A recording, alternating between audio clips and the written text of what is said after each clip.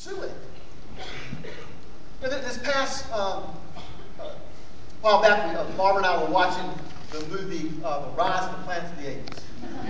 I, I'm into sci-fi. I remember the old ones, the original ones. You know, Barbara, she tolerates things like that. She just says, "Okay, dear, you know, we'll go see sci-fi." and uh, then I'll go see the help with her. And uh, I, I really liked the help. I did. I laughed more the help a lot. But anyway. Um, but you know, while the movie, if you've seen the movie, and if you know San Francisco, you know they, they have the, the, uh, the forest. And uh, yeah, I just love big trees. And I just made the comment, I'd love to be there. And so for Christmas, she's giving me a trip to San Francisco to go into the woods.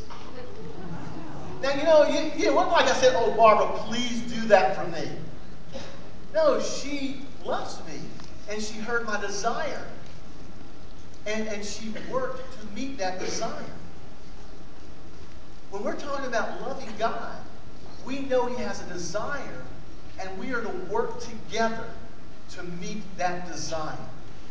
Working together to meet God's desire to bless the nations is what we commonly call the Great Commission to make disciples of all nations. And our heart for God, or really our heart for the heart of God, and how we embrace that. How does it affect us? And how does pursuing that bless us further? I think it pulls everything together, personally. I really do. The pursuit of making disciples of all nations. It affects everything. It affects understanding uh, more about, you know, the reason you understand your forgiveness is because you know you got to not just tell one or two people, you got the world to tell. The whole understanding of why God gives you the Holy Spirit. He empowers you to be a witness in Jerusalem, Judea, Samaria, the uttermost. It gives whole understanding of your gifts.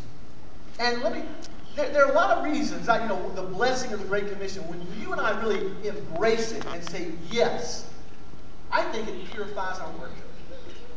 I think it really does purify our worship. Uh, imagine you are on the crew of, of a large sailboat, you know, like a, a pirate ship or whatever.